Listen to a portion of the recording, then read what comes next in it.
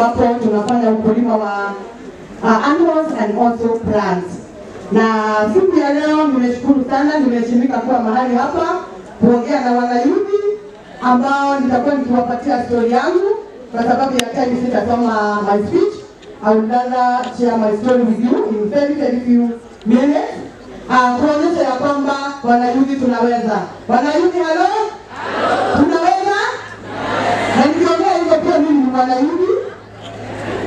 nimeacha nimefika 35 the other day, so bado sijaacha zile group za wanayuthi. Halo, tuko pamoja? Wanayuthi wanaweza? So, so in our farm tuna practice ornamental birds rearing, uh, ndege za mapambo kama peacock na other beautiful birds uh, from uh, our country Kenya and also international birds. We also have the daily goat section where we are practicing or diversifying from cow because of uh, high cost of feed and also nutrition values of the goat meal. We also have the giant rabbit kitchen gardening technologies where we are practicing uh, more than 13 kitchen gardening technologies depending with the size of your pocket and also the size of your space. We also have the pig. We also have aquaculture where we are doing uh, uh, fish in raised pots at the greenhouse. And we also have black soda fly and um, azola as alternative sources of protein in our farm. And we also have Airbnb. Analala vizuri. So we have an Airbnb in the farm and we also have a training facility capacity of 200. And the reason of doing all this is to ensure that we give our people what it takes when it comes to smart agriculture. Sawa sawa? So Chinese farm haikuanza hivyo mnaniona. Ilianza in a very open ground in a rented house. Sema nyumba ya kukodisha. Wangapi wamekodisha nyumba? Wow, we can still do something. Hello? Nilianza 2016 na kuku za mapambo na kuku za kienyeji. Niona wanayuni wanafuga kuku, na katika hiyo balcony yangu nikaweza kuweka kuku thelathini ambazo nilitumia elfu thelathini ukiongeza chakula na kununua kuku, zote zilikuwa uh, stock ya 30,000 na nika hizo birds nikiwa nimejigirilia nyumba ya kuku kwa balcony, na nilikuwa nakula mayai kila siku, ninauza mayai tule moja kila siku na nikawa nilikuwa nauza mpaka nyama ya kuku kwa balcony. Sawa sawa, nika extend nikakuwa na incubator, nikaongea na my vizuri. Kwa hivyo wale wamekodisha nyumba, ongea na nani wa vizuri. Nikaongea na landlord vizuri, akaniambia jenga mabati matatu, ingiza incubator ndani ndio isiweze kunyeshewa. Kutoka hapo, wacha niwaambie wanayuthi kuku zangu nikanunua, ilikuwa incubator ya mayai 528 and after 21 days kifaranga ikaanza kufanya nini? Kuanguka, si ndio? Niko na mahali pa kuweka kifaranga. Sasa kwa ile bedroom yangu moja, nyumba ilikuwa ya 3 bedroom, sawa sawa. Kwa hiyo bedroom moja ndio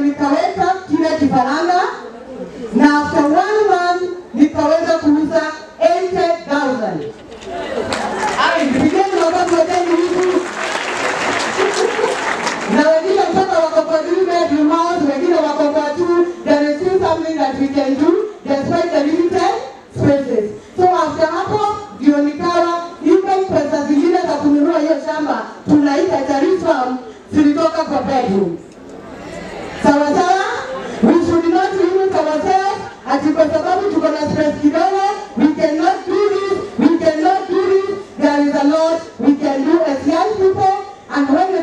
it comes now to there is a lot we can do. At the end of the day, we put something in our pocket. Kutoka hapo wakati nilinunua shamba, ndio niliweza kufanya hizo vitu zote zenye niko nazo na si kuanza tu hivyo. Uh, remember after sasa nimepata shamba, nimepata mahali pa kuhamishia kifaranga, so ninaagua kwa balcony nikipelekanga pale na corona ilikuja on the process. Wakati niko na kuku 2000 na nilikuwa na 15 daily cows kwa hiyo shamba yenye nilinunua. So nikawa kila kitu imeisha na sina ukulima tena. Nilienda kwa kuku yangu and that is why I support uh, digitalization kwa sababu nilitumia hii gadget yangu simu nikaingia kwa simu nikamuuliza the unique agribusiness in Kenya. Ukimuuliza hata saa hii Google huwa hasahawi, atakwambia there is ornamental bird, there is a fish and there is mushroom and also there is snail. Mimi nikachagua kwenda na ornamental bird na nikawa nimeanza safari yangu hapo, nikafanya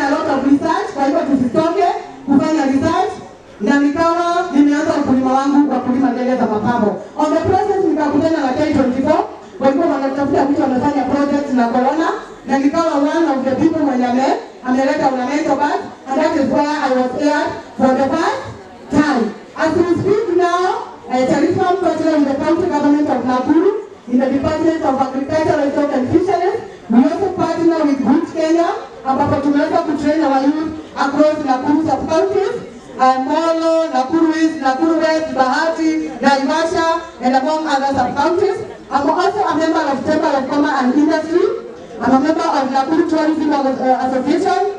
I'm a member of Horticultural Society of Kenya among other many organizations in Kenya. So ile kitu ningependa kuambia wanayuthi siku ya leo, let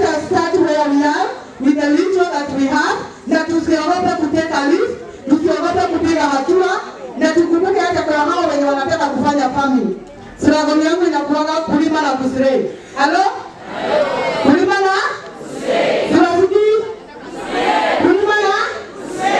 Kwa sababu hata kama ukisikia ni mkulima, mimi nakaa mkulima kweli? Si mmeng'ara? Zaidi yote unaweka? Mkitaka zaidi, tupate pale kwa yetu ya taarifa, tutakuelekeza, tutakusaidia. Na pia zaidi ya yote tupate kwa social media na tutashukuru. We shall work together and we love you, we celebrate you.